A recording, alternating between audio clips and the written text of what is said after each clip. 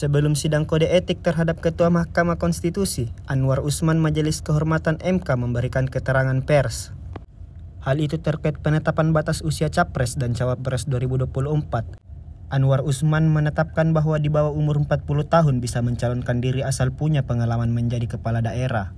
Dikutip dari channel YouTube Tribun News, pada Selasa 31 Oktober 2023, Hakim Konstitusi Arif Hidayat belak-belakan membongkar adanya prahara di MK.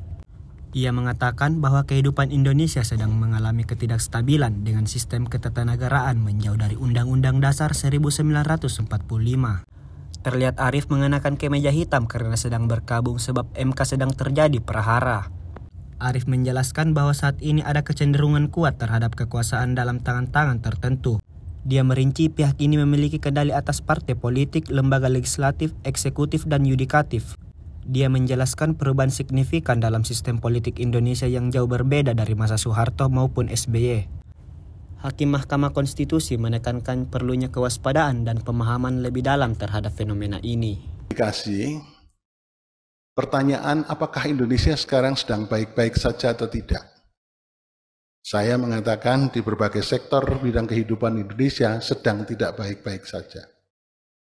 Oleh karena itu, Bapak Ibu sekalian harus hati-hati betul.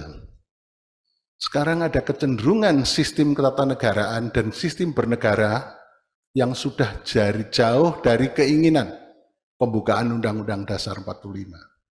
Bayangkan Bapak Ibu sekalian, di era Soeharto, era rezim Orde Baru atau Orde Lama pun, itu tidak ada kekuatan yang terpusat di tangan-tangan tertentu.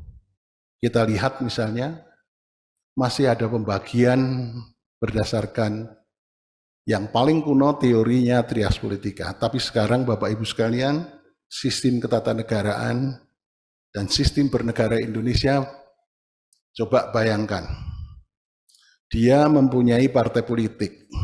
Dia mempunyai tangan-tangan di bidang legislatif. Dia mempunyai tangan-tangan di bidang eksekutif, sekaligus juga dia mempunyai tangan-tangan di bidang yudikatif. Saya sebetulnya datang ke sini agak malu kenapa saya pakai baju hitam, karena saya sebagai hakim Mahkamah Konstitusi sedang berkabung. Karena di Mahkamah Konstitusi baru saja terjadi prahara Download Tribun X sekarang. Menghadirkan lokal menjadi Indonesia.